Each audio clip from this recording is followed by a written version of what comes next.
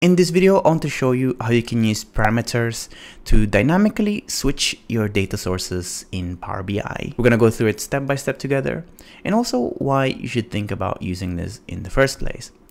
All of that and more. So without further ado, let's get started.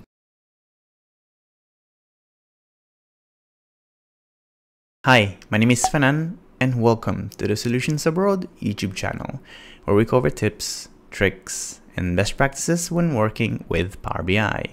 I upload new videos every week, so make sure you hit that subscribe button and the bell icon to get notified when a new one is out. So the what if parameters is a feature in Power BI which allows you to give your users the ability to dynamically adjust values in your reports. And we actually already covered this in a different video, so check it out if you want to know the basics of what if parameters.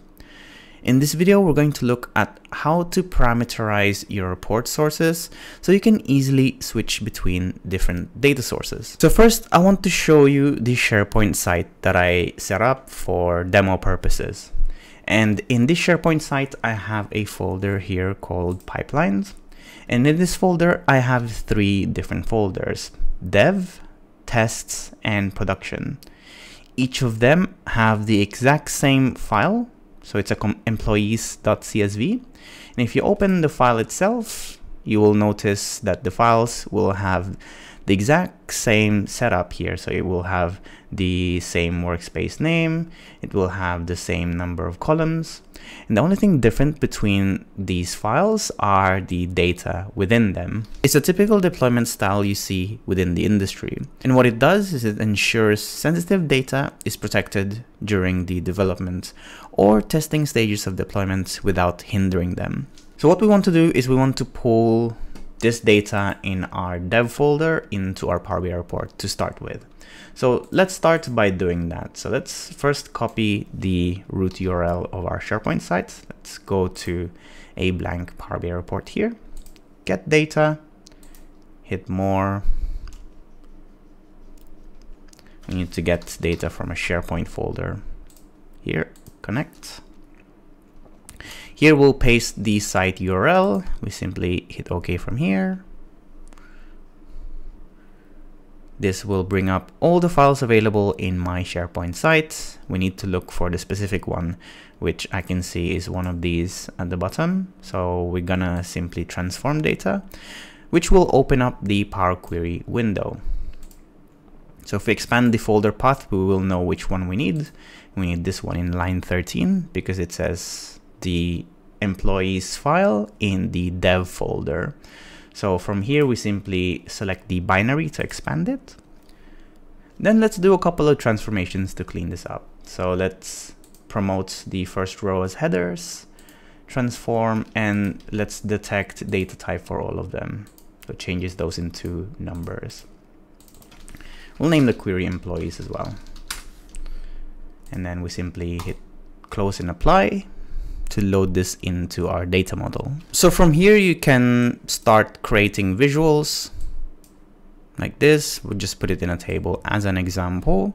You can start working on the model itself, creating relationships, or even publishing this report into the service. So what we want is to dynamically set the source of data so that at an instant, we can change the visuals to use the tests or production data. Now this is just a demo, so the steps are pretty simplistic, but in reality there will be a lot more steps that you simply don't want to keep recreating, such as calculations or visuals, every time you want to switch data sources. The first thing that we need to do is to go back to the Power Query editor here and analyze the steps that we've done. So you can see if we go to the source step here, the source step simply gives us all the files within the SharePoint site. Then the second one, the navigation. If you look at the formula bar here, it simply defines the path where the CSV file is. So here, here it says that the folder path for the file is coming from this folder, the dev folder. Then the rest of these steps like imported CSV or promoted headers or change type are simply transformation steps to the data. So because all the files that we need are all in the same place, in the same SharePoint site, we don't really need to do anything in this source step. And also because we know that the files on each of these folders will be the exact same format, we want them to all be transformed the same way. So we don't actually need to do anything on any of these transform steps. The step that we need to parameterize is the navigation step. So this folder path parameter here and the text within this folder path is what we need to customize. So if you look at what it is at the moment, you'll see that uh, at the end of this query, it just gives us a bunch of test names and a bunch of test salary. Now, if we go back to the navigation and change the source to, mm, let's say production, and I know that the folder's name is this, so, so that's how I managed to just change it. If you hit enter, you'll see it just loads for a second but if you now go back to the end of this query, it will now give us actual values. So this is production data with real names and real salaries. So what we did is we manually updated the folder path in this navigation step. Now we need to update this dynamically using a parameter. So let's do that. Let's try to create a new parameter. You can do it by simply right clicking on the queries here and clicking a new parameter, or you can go under home, manage parameters, and new parameter. We can name this new parameter file source. We can leave the description blank, leave this one as required. The type, it doesn't really matter, we just set it as text because we know it will need to be text. Suggested values, um, instead of any value, we want this to be a list of values. So we just want when we use the parameter to just select from a list of sources. So we know that we have one called tests, one, well actually no, there's a, two tests. The first one is dev, and then the third folder is called production, like this. So once that's done, we simply set the default value. So we just want it to be dev and the current value as dev. So now that's your parameter pretty much set up.